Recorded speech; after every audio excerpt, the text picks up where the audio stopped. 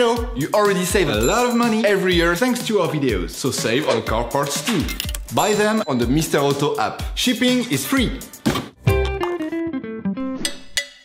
To replace your car radio, you must first turn your engine off.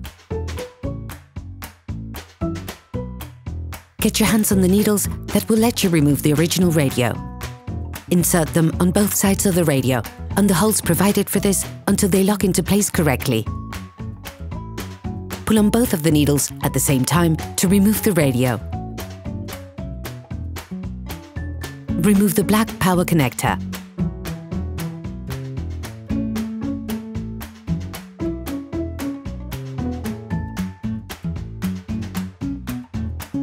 and the yellow steering wheel control connector by pushing on the plastic tab, with a screwdriver if needed, and simultaneously pulling on each of them.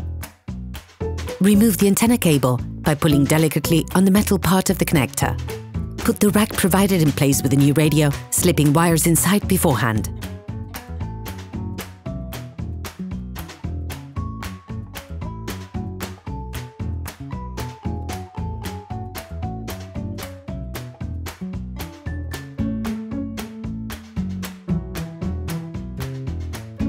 Once the rack has been properly placed into its compartment, lock it in place with a flathead screwdriver and pushing down all the metal tabs. Make sure to fold each tab so that the rack is perfectly fixed in place.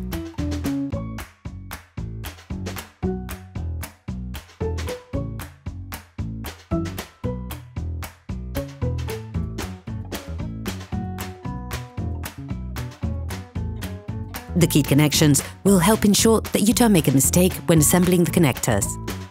The yellow connector, corresponding to the steering wheel control, will only plug into a compatible receiver.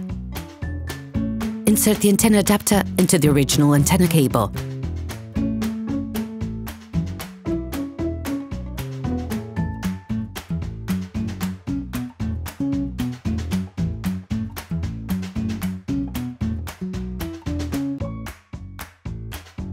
Then, connect everything to the radio.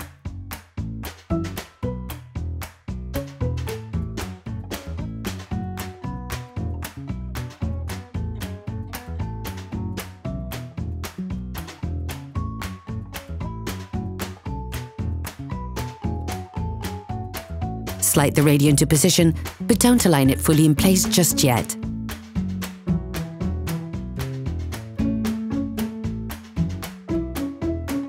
Turn on the ignition to check that the radio is working correctly before fully fixing it in place.